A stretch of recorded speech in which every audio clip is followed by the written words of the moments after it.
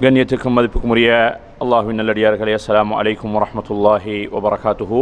நபியர்கள் சொல்லுகின்றார்கள் அஃதலு சியாமி பஅத ரமதான் ஷஹருல்லாஹில் முஹர்ரம் வ அஃதலு ஸலாத்தி பஅதல் ஃபரீதத்தி ஸலாத்துல் லைல். நபியர்கள் சொல்லுகின்றார்கள் நோன்புலே சிறந்த நோன்பு ரமதானுடைய நோன்பு கடமையான நோன்புக்கு பின்னால் நோன்பு நோட்பதற்கு மிக சிறந்த ஒரு காலம் என்று சொன்னால் நாம் இருக்கக்கூடிய முஹர்ரமுடைய மாதம் தான் சங்கையான மாதங்களிலே நான்கு மாதங்கள் இருக்கின்றது அதிலே ஒரு மாதம் தான் முஹர்ரமுடைய மாதம். அதாவது ஹிஜ்ஜா முஹர்ரம் ரஜப் என்று சொல்லக்கூடிய நான்கு சங்கையான மாதங்களிலே நாங்கள் முஹர்ரமுடைய அந்த மாதத்தில் இருந்து கொண்டிருக்கின்றோம். இந்த மாதம் தான் ஃபர்லான நோன்புக்கு பின்னால் அதிகம் நோன்பு பிடிப்பதற்கு அல்லாஹுக்கு மிகவும் விருப்பமான காலம்.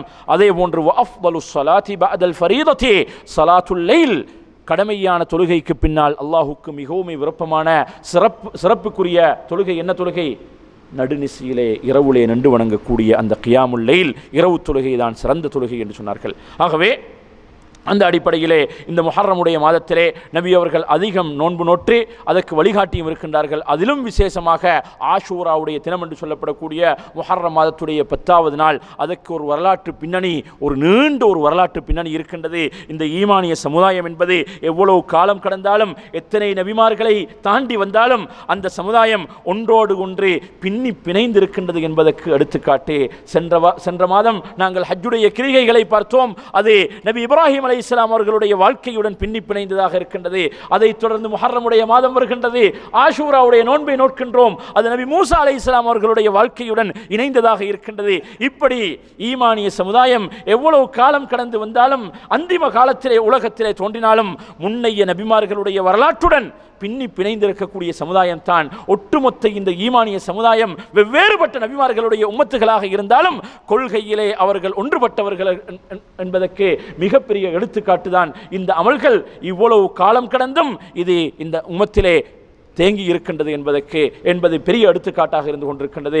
நபியவர்கள் என்ன சொல்லுகின்றார்கள்? மதீனாவுக்கு வருகின்றார்கள். ஹிஜ்ரத் பயணத்தை மேற்கொண்டு மதீனாவுக்கு வருகின்றார்கள். யூதர்கள் ஒரு தினத்தை கண்ணியப்படுத்தி அதிலே நோன்பு நோற்று அவர்கள் அந்த தினத்தை கண்ணியப்படுத்தி கொண்டிருக்கின்றார்கள். அதுதான் முஹர்ரமுடைய பத்தாவது நாள். மாஹாதல் யோமுல்லதி மூனஹூ நீங்கள் நோன்பு நோட்கக்கூடிய இந்த நாளுடைய இரகசியம் என்னன்னு கேட்கின்றார்கள். நபிக்கு தெரியாமல் இல்லை யாருக்கு வழங்கக்கூடாது? நபி தெரியாமல் கேட்கிறாங்கண்டே. அவங்களுக்கு ஒரு பதிலடி கொடுப்பதற்காக வேண்டி. நபிக்கு தெரியும் இவங்க இப்படி தான் பதில் சொல்ல போறாங்கண்டே. அவங்களுக்கு ஒரு பதிலடி கொடுப்பதற்காகவே நபி அவங்க கேட்குறாங்க.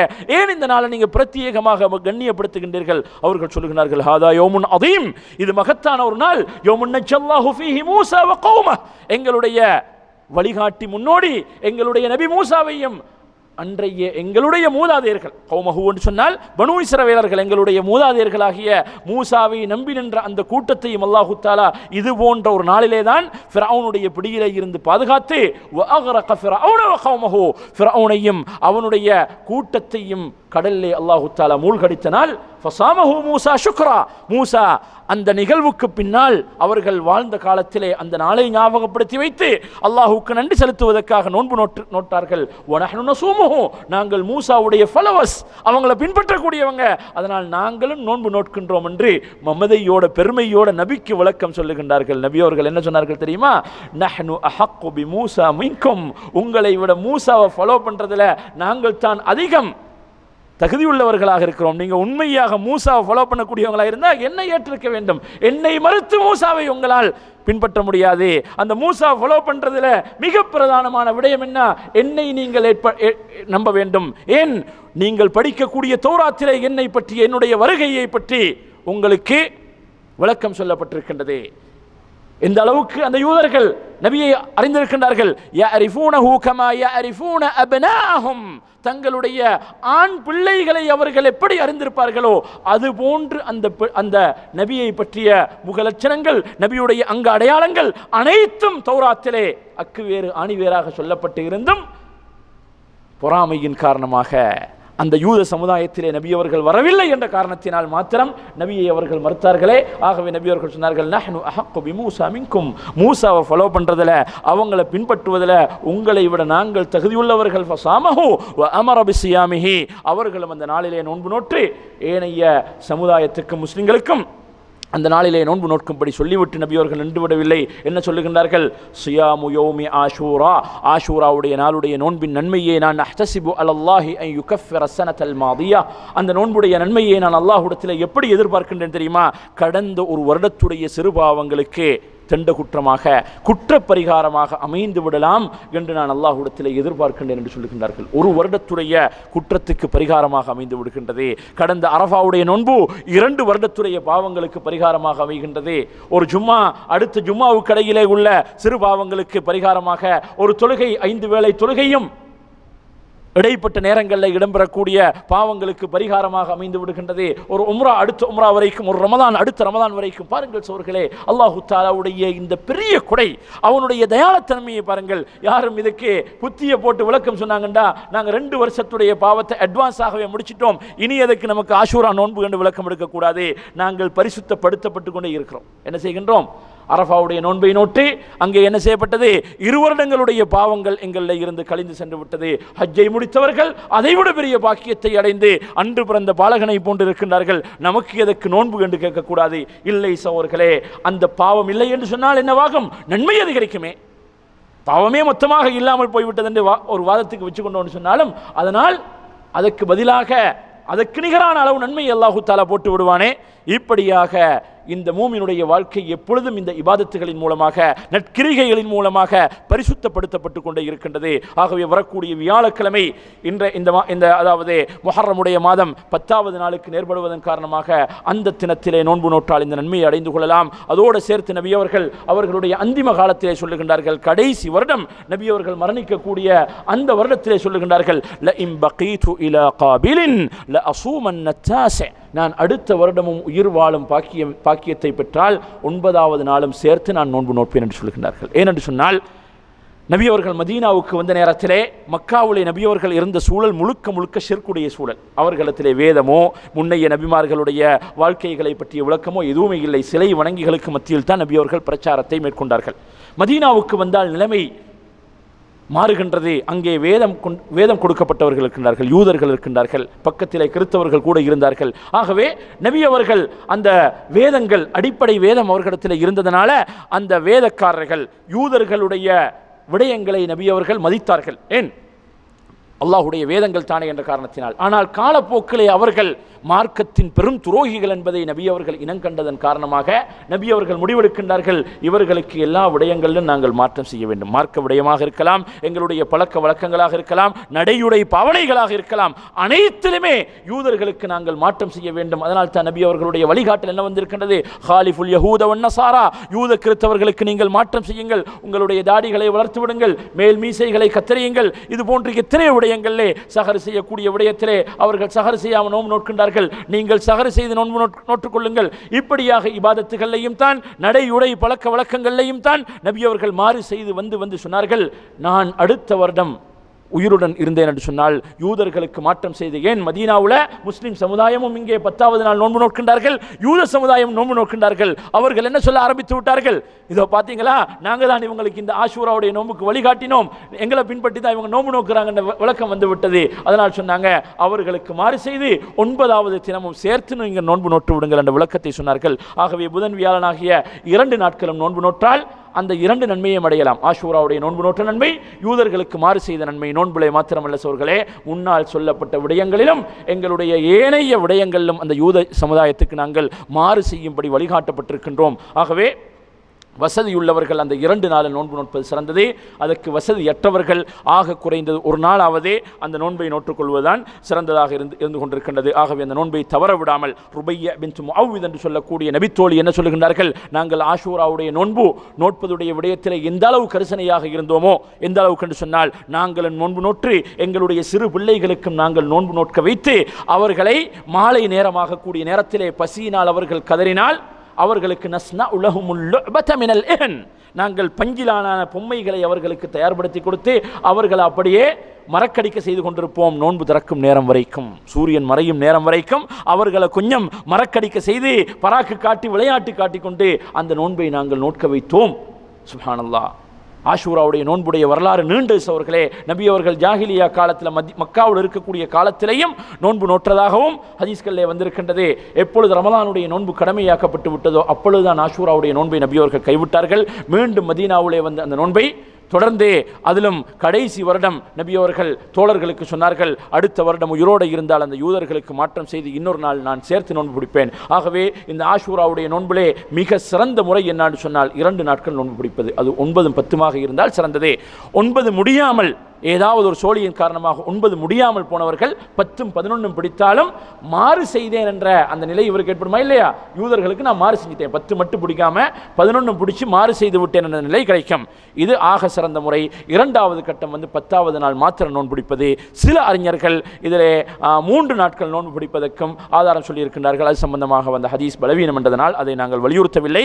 ஆனால் ஒரு மனிதர் ரமதானுடைய அதாவது மொஹரமுடைய மாதத்தில் தொடர்ச்சியாக அதிகபட்சமான நாட்கள் நோன்பு நோட்டு வர்றாருன்னு சொன்னால் அவர் பிரச்சனை இல்லை. அவர் இப்போது அன்வியால் அன்வள்ளி சனி ஞாயிறு திங்கள் இப்படி தொடர்ந்து பிடிச்சாருன்னு சொன்னால் அவருக்கு அது பிரச்சனை இல்லை. ஆகவே இந்த ஆஷூராவுடைய நோன்பு நமக்கு எதை வலியுறுத்துகின்றது என்று சொன்னால் எதை வலியுறுத்துகின்றது சோர்களை? இன்னும் ஒரு கோணத்தில் இந்த ஆஷூராவுடைய நோன்பை நாங்கள் பார்த்தோம் என்று சொன்னால் ஒரு ஈமானிய சமுதாயத்துக்கு ஈமான் கொண்ட ஒரு மனிதனுடைய உள்ளத்திலே ஒரு திருப்தி வர வேண்டும். அநியாயங்கள் அக்கிரமங்கள் வழிகேடுகள் எவ்வளோ தான் தலை தூக்கி இருந்தாலும் எவ்வளோ நீண்ட காலமாக இருந்தாலும் எவ்வளோ அதாவது ஆதரவை பெற்றிருந்தாலும் அதனுடைய முடிவு பயங்கரமானதாகத்தான் இருக்கும். மிக பயங்கரமான முடிவின் பக்கம் தான் அந்த அக்கிரமக்காரர்கள் எடுத்து செல்லப்படுவார்கள். ஃபிரௌனை விட ஒரு அக்கிரமக்காரனை இந்த உலக வரலாறு அறிந்திருக்கின்றதா? சுஹானல்லா அந்த பனு இஸ்ரவேலர்களே நபி மூசா பிறக்கக்கூடாது என்பதற்காக வேண்டி பல்லாயிரக்கணக்கான குழந்தைகளை கொண்டு குவித்தவன். நபி நபி மூசா அலை அவர்கள் பிறந்ததுக்கு பின்னால் அதற்கு பின்னாலும் அந்த சமுதாயத்தை அவன் அப்படியே ஒடுக்கி அவர்களை அவர்களுக்கு அநியாயம் செய்து அக்கிரமம் செய்து மிகப்பெரிய அட்டகாசங்களை உலகத்திலே புரிந்த அந்த ஃபிரௌனை அல்லாஹு தாலா இன்றைய அநியாயக்காரர்களை விட்டுவிட்டதை போன்று ஓரிரு வருடமல்ல பல தசாப்தங்கள் அல்லாஹு தாலா அவனை விட்டு வைத்திருந்தான்.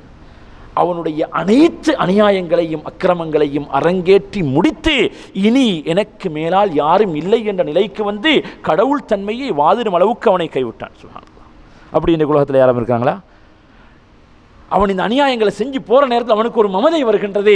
என்ன குற்றம் பிடிப்பதற்கு? என்னிடத்துல பழி வாங்குறதுக்கு யாருமே இல்லை. அப்போ நான் தான் கடவுளப்பா. என்ற ஒரு மனநிறைவு அவனுக்கு வரும் வரைக்கும் அல்லாஹ் அவனை கைவிட்டான். இதான் அல்லாஹு தாலாவுடைய சொன்னான் மா அலிம் துலக்கும் மின் இலாஹின் கைரி. என்னை தவிர உங்களுக்கு வேறு கடவுள் இல்லை. என்னை தவிர உங்களுக்கு வேறு கடவுள் இல்லை என்ற ஒரு மனநிறைவு அவனுக்கு வந்தது. ஏன்? பொய்யா இல்லையா? என்ன ஒரு பாவத்தை தவற செய்யக்கூடிய மனிதன் ஒன்றை செய்வா ஒரு கொலை செய்வா ரெண்டு கொலை செய்வான் நாலு கொலை செய்வான். தண்டனை இல்லை.